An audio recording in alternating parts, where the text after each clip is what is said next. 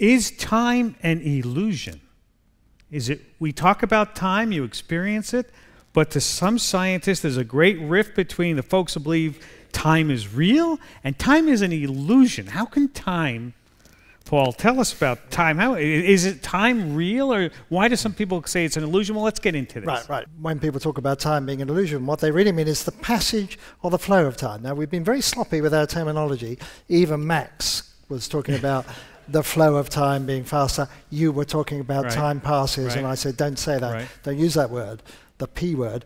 Um, P. that- I didn't know that. Uh, uh, Hermann Weyl expressed it very well. Time does not pass, it merely is. We have the landscape, you can unfurl a map that represents the lands- landscape in the same way we've got the timescape. Uh, everything is there. You have all events um, of, for all, all of space time simply there.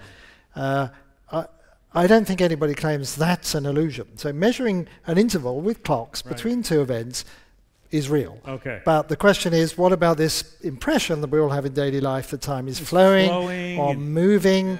Uh, and you have a you have a video that, that uh, and we do, and I think I think it's an illusion, but I'd You like to be persuaded otherwise. And this is my uh, my favourite analogy. Uh, and so now everyone has had the same experience. You spin around like that and stop. You have this overwhelming impression that the universe is rotating. Okay, you you feel it's uh, the, this dizziness. Everything's going around when you stop. But you can look at a spot on the wall and you can see, of course, it's not rotating. You can, you, your observations show it can't be rotating. It feels in your head Like like, it it is rotating. In the same way, you can't get away from this idea. It seems to be whizzing along. yeah.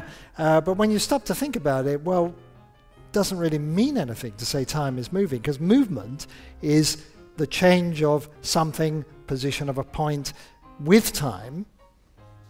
But how, what does it mean to say that time is changing with time? It means nothing at all. You say time changes at one second per second, but that's just a tautology. You know, what else could it be? Two seconds per second? And so, uh, to a physicist, uh, and in fact, this was the famous quote of Einstein to, uh, to a committed physicist, past, present, and future are only illusions, however persistent. And this whole idea of a, a universal now uh, and a march of time, it doesn't, doesn't mean anything at all. So there's a huge conflict between our daily experience Right. that time is passing and the physicist's view of time that has no place within those, any of those equations. There's no, there's no device that can measure the flow of time. There's a device that measures time intervals, it's called a clock. No device that can measure the flow of time. No timeometer, so to speak.